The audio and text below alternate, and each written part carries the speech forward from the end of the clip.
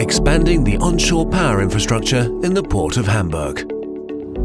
The overall aim is to improve the air quality in the Port of Hamburg in compliance with the Hamburg Clean Air Action Plan. The Port of Hamburg has a vital role to play in achieving the aim and a particular responsibility.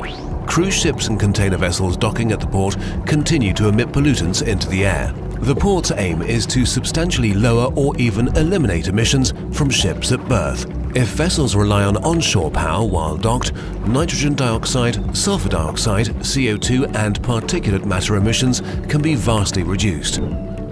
Plugs in, engines off. By offering this state-of-the-art technology, the port is doing its part to achieve the goals set out in the Hamburg Clean Air Action Plan.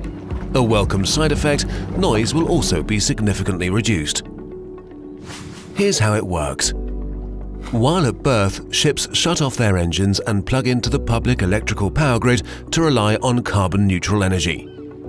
A converter substation converts the power to the frequency and voltage seagoing ships need. Land-based charging cables connect ships fitted with onboard marine power equipment to charging points on land the system can be adjusted to suit each ship's specific needs. Hamburg installed onshore electric power infrastructure as early as 2016. The facility at the Altona Cruise Center is the first one of its kind in Europe. It has been supplying ships with onshore power since 2017. Onshore power connection points for cruise ships will soon be available at the cruise terminal in Hafen City too. The station can serve one large vessel or two smaller ships. A further onshore power facility is being installed at the Steinwerder Cruise Center. It's designed to supply large cruise ships with electricity. The power each of Hamburg's onshore power stations can produce is roughly the equivalent to the energy needs of a small town. In addition, the installation of an onshore power station to supply container ships is underway.